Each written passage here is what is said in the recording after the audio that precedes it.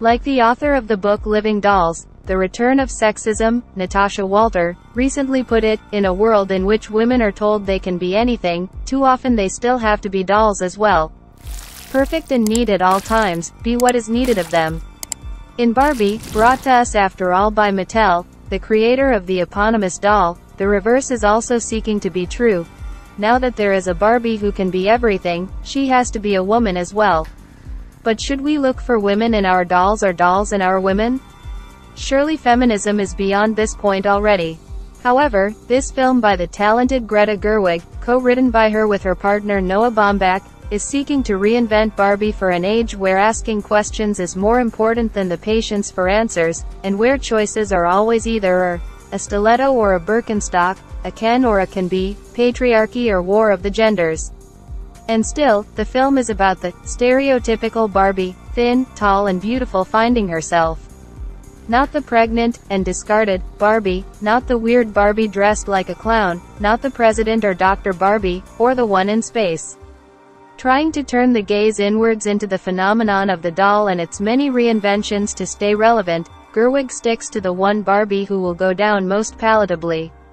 The film's highest points are when Robbie's Barbie ventures into the real world, out from Barbie land, on discovering to her horror that she is developing cellulite on her thighs and her feet have gone flat, no longer arched like the heels she wears. She has had thoughts of death lately, equated actually with cellulite in one scene and it's been all downhill since. Now Robbie's Barbie must go into the real world, and find out what's troubling the owner of her doll version, which through space continuum, blah blah is rubbing off on her too. Gosling's Ken hops along for the ride.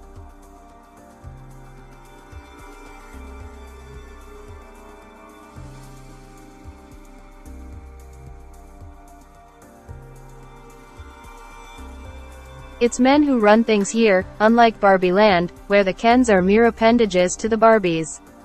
Gosling's Ken, hence, can't have enough of what he finds in the real world. Barbie meanwhile is shocked at every turn about what she discovers. Almost quickly though, when the film is getting into its stride about how Barbie and Ken would fit in, in the real world, we are transported back into Barbie land. The real-world mother-daughter pair who own Robbie's Barbie doll version come along. You can't shake off the feeling of the overarching Mattel influence on the film, in raising questions about Barbie and what it means or doesn't for real women, but ensuring that the most uncomfortable ones land as feeble jokes or are kept to the background.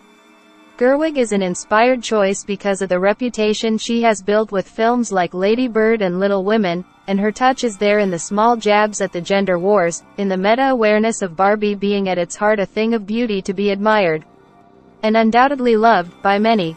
Helen Mirren, as narrator, commenting at one point in the film that casting Robbie was the whole point of Barbie actually never being ugly is too glib for its own good.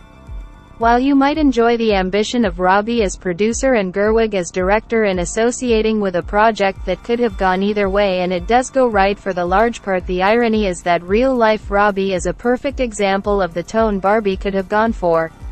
The dazzling Robbie is never not beautiful. She is also never just beautiful. She awes your eyes, but she also warms your hearts.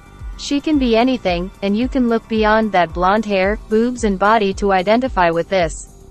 Gosling has a much smaller role, though his dilemma as the superfluous Ken plays out more fulfillingly.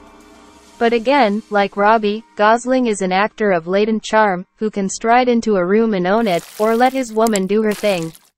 Gerwig is smart in choosing these two charismatic actors to play her leads. If only her Barbie and Ken matched up to them in either the plastic, or the fantastic. Hi viewers please support my channel to subscribe, like and share. Thank you all.